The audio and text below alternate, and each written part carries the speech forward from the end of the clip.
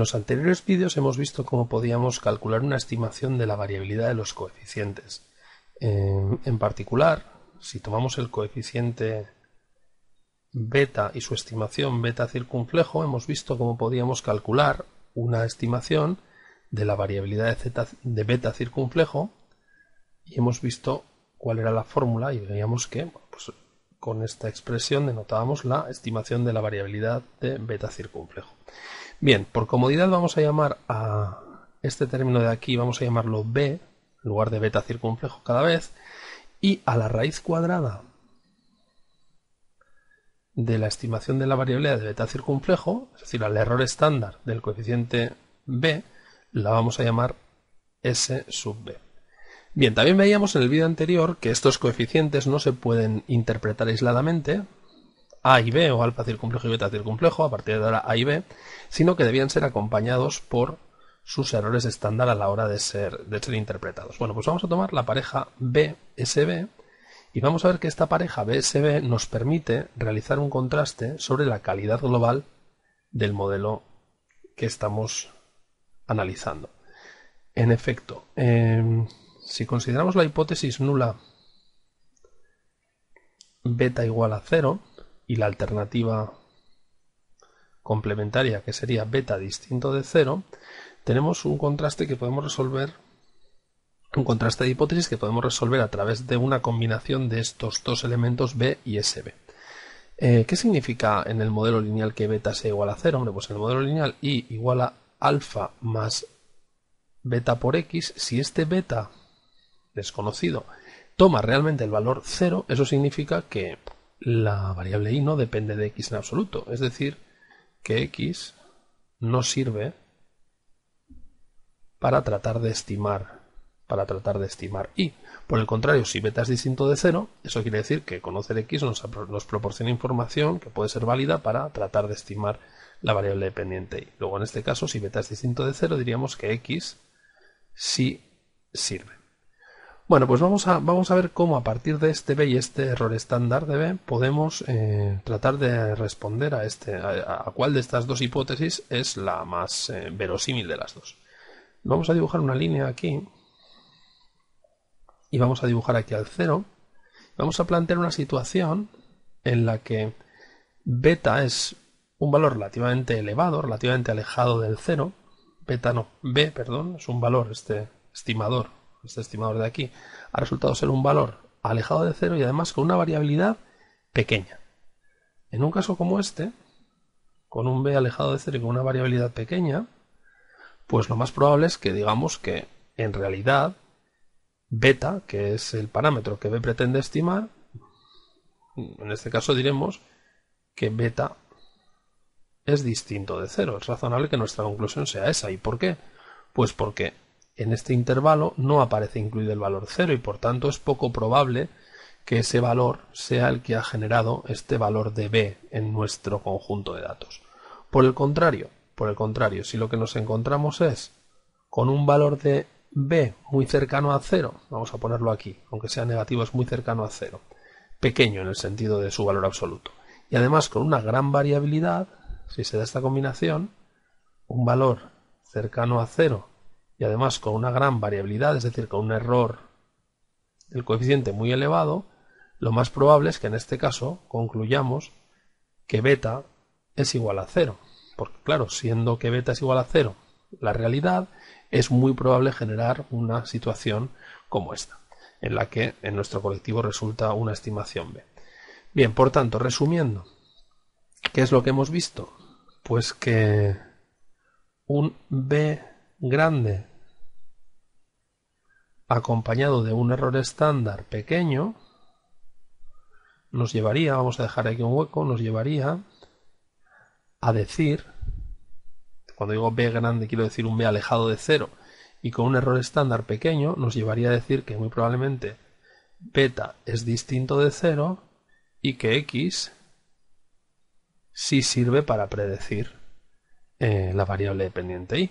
Por el contrario, un b pequeño un b pequeño, como este caso de aquí cercano al cero, y con un error estándar grande, un error estándar grande, nos llevaría seguramente a concluir que beta en realidad es igual a cero y que x nos sirve. Bueno, pues lo que vamos a hacer es en lugar de ir comparando si b es grande y sb pequeño, si b es pequeño y sb es grande, vamos a hacer algo más cómodo, que es calcular el cociente entre b, es decir, la estimación de beta, y su error estándar sb. ¿Qué pasará si b es grande y sb es pequeño? Pues que este cociente será grande. Y por el contrario, si b es pequeño y sb es grande, entonces el cociente b entre sb será pequeño.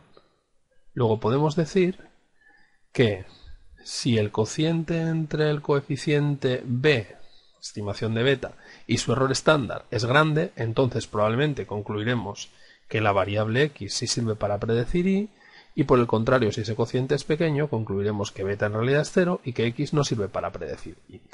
Vamos a ver cómo concretamos todo esto mucho más. Si añadimos una hipótesis adicional a las que hemos llamado las hipótesis de Gauss-Markov, si añadimos la hipótesis de que cada uno de los términos de error sigue una distribución de tipo normal, esta hipótesis no es una hipótesis de Gauss-Markov, no es necesaria para, para las cosas que se deducen de, las hipótesis de Gauss-Markov, pero eh, esta hipótesis adicional nos permite afirmar que el estadístico B partido SB, es decir, el coeficiente que hemos estimado para la pendiente entre el error estándar de ese coeficiente, sigue una distribución t de student con n menos 2 grados de libertad.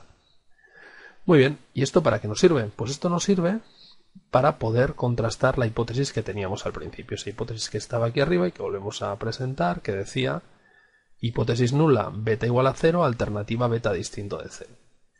¿Y cómo lo hacemos? Pues muy bien, sabiendo, sabiendo que este estadístico que acabamos de presentar aquí, al que llamamos estadístico de contraste, sigue una distribución t de student con n-2 grados de libertad, podemos asignarle a este estadístico de contraste un p-valor. El p-valor, que en realidad es la probabilidad de que el estadístico de contraste tome un valor más extremo que el que ha tomado bajo el supuesto de que la hipótesis nula es cierta, esa es la definición técnica, lo podemos entender de una forma más intuitiva como un índice de compatibilidad. Es un índice de compatibilidad de compatibilidad entre dos elementos. Por una parte, la hipótesis nula, que decía beta igual a cero, y por otra parte el estadístico de contraste, que es b partido sb. ¿Estas dos cosas son compatibles o no son compatibles? Bueno, pues ese índice de compatibilidad es lo que nos va a medir si son compatibles o no lo son. ¿Y cómo funciona una probabilidad crítica? Pues de la siguiente forma. Vamos a seleccionar otro color como es una probabilidad, la probabilidad crítica siempre va entre 0 y 1, luego tiene que estar aquí en este rango entre 0 y 1, y cuando tengamos valores altos, eso va a decir, va a querer decir que la compatibilidad es elevada, por tanto el estadístico de contraste y la hipótesis nula son perfectamente compatibles y por tanto en esta zona de aquí lo que haremos será aceptar la hipótesis nula. Por el contrario, cuando estemos en valores bajos, de la probabilidad crítica del p-valor. Eso va a indicar que la hipótesis nula y el estadístico de contraste son incompatibles y por tanto como el, estadístico de contraste es algo que hemos visto, tendremos que rechazar la hipótesis nula. Por aquí la rechazaremos. En esta zona rechazaremos la hipótesis nula.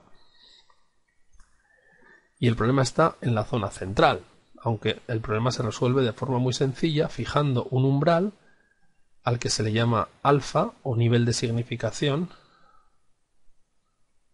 nivel de significación, que es el que fija cómo va a ser la decisión. ¿Qué ocurre? Pues muy sencillo. Si el p-valor, si este p-valor que hemos calculado resulta que es menor, cae en esta zona, y es menor que el nivel de significación, entonces la decisión será rechazar la hipótesis nula o lo que es lo mismo, decir que el modelo tiene calidad, X sí sirve para predecir y la calidad del modelo es buena. Y si por el contrario el p-valor está por encima del nivel de significación, lo que diremos es que x nos sirve y, nos sirve para predecir y, se entiende, y por tanto que la calidad del modelo es mala. Así que no tenemos más que comparar el p-valor, que será un cálculo que hagamos a través de un software estadístico, con este nivel de significación, que será algo que elegiremos y que habitualmente suele estar situado en 0,10 o 0,05 o 0,01, pero que podría tomar cualquier otro valor y comparando este p-valor con este alfa decidiremos, en caso de que p-valor sea menor que alfa, rechazar la hipótesis, en caso de que el p-valor sea mayor que ese alfa, aceptar la hipótesis.